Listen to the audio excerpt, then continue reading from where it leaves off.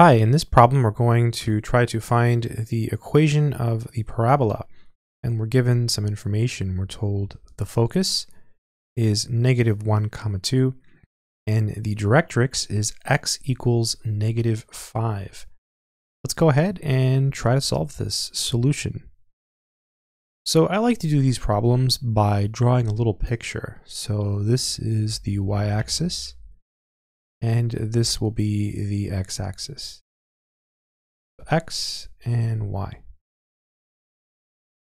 And let's go ahead and plot what we have. So the focus is negative 1 comma 2. So from the origin, we'll go left 1 and up 2 and put a dot.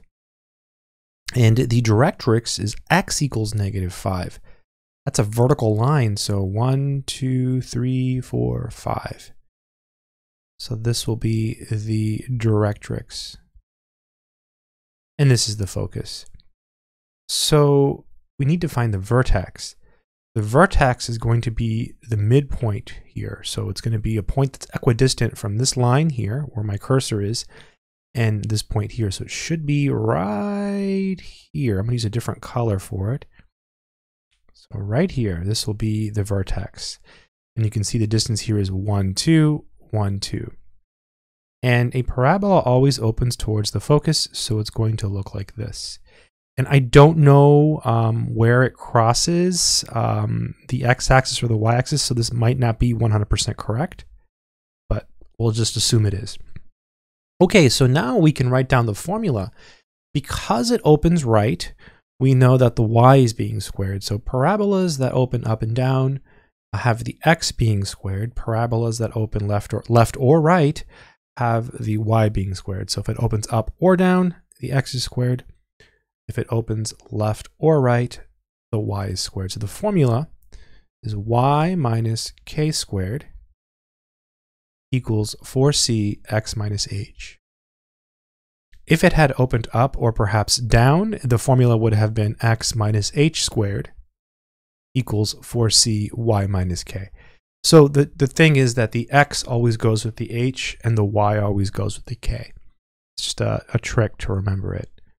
Okay, so now all we have to do is plug stuff in.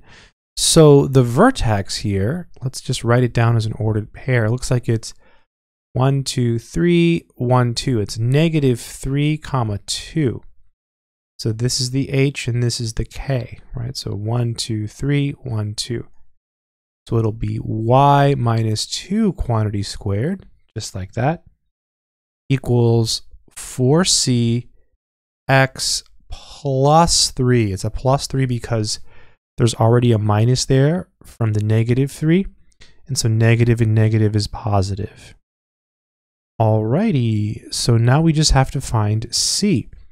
So the absolute value of c is this distance here, which we see that it is 2. Now, because it opens right, c is positive, so c is equal to 2. If it had, if it had, if it had opened left, c would be negative 2. So this becomes y minus 2 squared equals 4 times 2, x plus 3. Just replacing um, the c there with 2. And so the final answer would be y minus 2 squared